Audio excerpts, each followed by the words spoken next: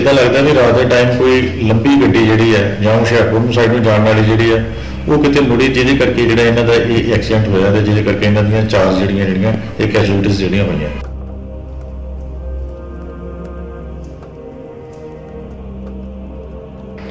ਚਾਰ ਜਣੇ।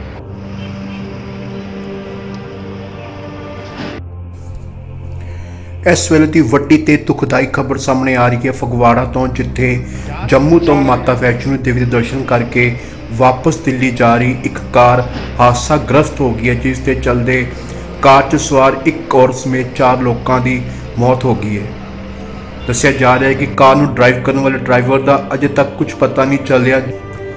ਤੁਹਾਨੂੰ ਅਸੀਂ ਵਿਖਾ ਰਹੇ ਹਾਂ ਮੌਕੇ ਦੀਆਂ ਉਹ ਦਿਲ ਦਹਿਲਾਉਂਦੀਆਂ ਤਸਵੀਰਾਂ ਕਿ ਕਿਸ ਤਰ੍ਹਾਂ ਸ਼ੂਗਰ ਮਿਲ ਦੇ ਕੋਲ ਇੱਕ ਕਾਰ ਹਾਦਸਾ ਗ੍ਰਸਤ ਹੋਈ ਹੈ। ਦੱਸਿਆ ਜਾ ਰਿਹਾ ਹੈ ਕਿ ਔਰਤ ਅਤੇ ਉਸਦੇ ਪੁੱਤਰ ਦੀ ਮੌਕੇ ਤੇ ਹੀ ਮੌਤ ਹੋ ਚੁੱਕੀ ਸੀ ਤੇ ਉਸ ਦਾ ਰਿਸ਼ਤੇਦਾਰ ਅਤੇ ਉਸ ਦੇ ਪੁੱਤਰ ਨੂੰ ਇਲਾਜ ਲਈ ਇੱਕ ਪ੍ਰਾਈਵੇਟ ਹਸਪਤਾਲ ਦਾਖਲ ਕੀਤਾ ਗਿਆ। ਡਾਕਟਰਾਂ ਵੱਲੋਂ ਉਹਨਾਂ ਨੂੰ ਮ੍ਰਿਤਕ ਘੋਸ਼ਿਤ ਕਰ ਦਿੱਤਾ ਗਿਆ।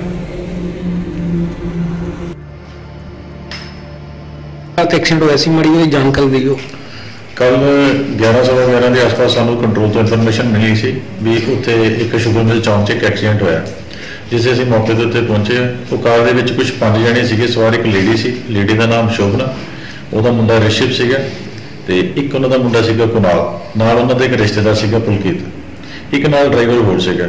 ਜਦੋਂ ਇਹ ਮੌਕੇ ਤੇ ਗਏ ਤਾਂ ਪੀਸੀਆਰ ਵਾਲਿਆਂ ਨੇ ਅਸੀਂ ਅਸਿਸਟੈਂਸ ਦੇ ਕੇ ਉਹਨਾਂ ਨੂੰ ਸਿਵਲ ਹਸਪੀਟਲ ਭੇਜਤਾ ਕਿਉਂਕਿ ਉਹਨਾਂ ਦੇ ਕਾਫੀ ਸੱਟਾਂ ਲੱਗੀਆਂ ਹੋਈਆਂ ਸੀ ਗੱਡੀ ਉਹਨਾਂ ਦੀ ਜਿਹੜੀ ਆ ਕੰਪਲੀਟਲੀ ਡੈਮੇਜ ਹੋਈ ਹੋਈ ਸੀ। ਤੇ ਜਦੋਂ ਦੋ ਜਣਾਂ ਦੀ ਇੱਥੇ ਡੈਥ ਹੋ ਗਈ, ਉਸ ਤੋਂ ਬਾਅਦ ਅਸੀਂ ਤਿੰਨਾਂ ਨੂੰ ਜੌਲ ਹਸਪੀਟਲ ਲੈ ਕੇ ਗਏ ਸੀ। ਜੌਲ ਹਸਪੀਟਲ 'ਚ ਦੋ ਜਣਾਂ ਦੀ ਉੱਥੇ ਵੀ ਡੈਥ ਹੋ ਗਈ। ਜਿਹੜਾ ਡਰਾਈਵਰ ਹੈ ਉਹਦੇ ਬਾਰੇ ਪਤਾ ਨਹੀਂ ਲੱਗ ਸਕਿਆ, ਕਿਉਂਕਿ ਇਹ ਸਾਰੇ ਬੰਦੇ ਜਿਹੜੇ ਹੋਸਟ ਨਹੀਂ ਹੈਗੇ। ਤੇ ਜਿਹੜੀ ਸਾਨੂੰ ਇਨਫੋਰਮੇਸ਼ਨ ਮਿਲੀ, ਇਹਨਾਂ ਦੇ ਮੋਬਾਈਲਸ ਤੋਂ ਜਾਂ ਇਹਨਾਂ ਦੇ ਰਿਸ਼ਤੇਦਾਰਾਂ ਤੋਂ, ਉਹਨਾਂ ਦੇ ਬੇਸਿਸ ਤੇ ਜਿਹੜੀ ਅਸੀਂ ਇਹਨਾਂ ਦੀਆਂ ਡਿਟੇਲ ਜਿਹੜੀਆਂ ਹਾਸਲ ਕੀਤੀਆਂ। ਇਹ ਕੁਝ ਦਿੱਲੀ ਵਿਆਹ ਇਹਨਾਂ ਨੇ ਅਟੈਂਡ ਕੀਤਾ ਸੀਗਾ। ਵਿਆਹ ਅਟੈਂਡ ਕਰਨ ਤੋਂ ਬਾਅਦ ਇਹ ਜੰਮੂ ਤੋਂ ਵੈਸ਼ਨੋ ਦੇਵੀ ਮਾਤਾ ਤੋਂ ਮੱਥਾ ਟੇਕ ਕੇ ਵਾਪਸ ਜਾ ਰਹੇ ਸੀਗੇ ਤੇ ਰਸਤੇ ਵਿੱਚ ਇਨਸੀਡੈਂਟ ਹੋਇਆ। ਅਸੀਂ ਹੁਣ ਮੌਕੇ ਦੇ ਉੱਤੇ ਜਿਹੜੀਆਂ ਸੀਸੀਟੀਵੀ ਫੁਟੇਜ ਹੈਗੀਆਂ ਜਿਹੜੀਆਂ ਉਹ ਚੈੱਕ ਕਰਦੇ ਪਏ ਹਾਂ। ਇਦਾਂ ਲੱਗਦਾ ਵੀ ਰਾਤ ਦੇ ਟਾਈਮ ਕੋਈ ਲੰਬੀ ਗੱਡੀ ਜਿਹੜੀ ਹੈ ਜਾਂ ਹੁਸ਼ਿਆਰਪੁਰ ਨੂੰ ਸਾਈਡ ਨੂੰ ਜਾਣ ਵਾਲੀ ਜਿਹੜੀ ਹੈ ਉਹ ਕਿਤੇ ਮੁੜੀ ਜਿਹਦੇ ਕਰਕੇ ਜਿਹੜਾ ਇਹਨਾਂ ਦਾ ਇਹ ਐਕਸੀਡੈਂਟ ਹੋਇਆ ਤੇ ਜਿਹਦੇ ਕਰਕੇ ਇਹਨਾਂ ਦੀਆਂ ਚਾਰ ਜਿਹੜੀਆਂ ਜਿਹੜੀਆਂ ਇਹ ਕੈਜੂਅਲਟੀਜ਼ ਜਿਹੜੀਆਂ ਹੋਈਆਂ। ਕੋਈ ਮੌਕੇ ਸਾਹਮਣੇ ਨਹੀਂ ਆਇਆ ਵੀ ਕੀ ਕਾਰਨ ਕੀ ਹੋਇਆ ਐਕਸੀਡੈਂਟ ਕਿਸੇ ਨੇ ਦੱਸਿਆ ਹੋ ਵੀ ਕਿੱਚ ਲੱਗੇ ਆ ਕੋਈ ਸਾਨੂੰ ਤੱਕ ਨਹੀਂ ਪਤਾ ਲੱਗਾ। ਹੁਣ ਤੱਕ ਇਸ ਚੀਜ਼ ਬਾਰੇ ਹਾਲੇ ਤੱਕ ਕੋਈ ਕਲੂ ਨਹੀਂ ਮਿਲ ਸਕਿਆ।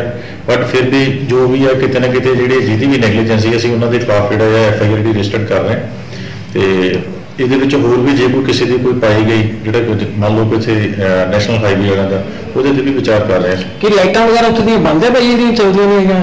ਇਹ ਰਾਤ ਦੇ ਟਾਈਮ ਜਿਹੜੀਆਂ ਜਿੱਦਾਂ ਹੁਣ ਕਈ ਵਾਰੀ ਚੱਲ ਵੀ ਪੈਂਦੀਆਂ ਕਈ ਵਾਰੀ ਨਹੀਂ ਵੀ ਚੱਲਦੀਆਂ।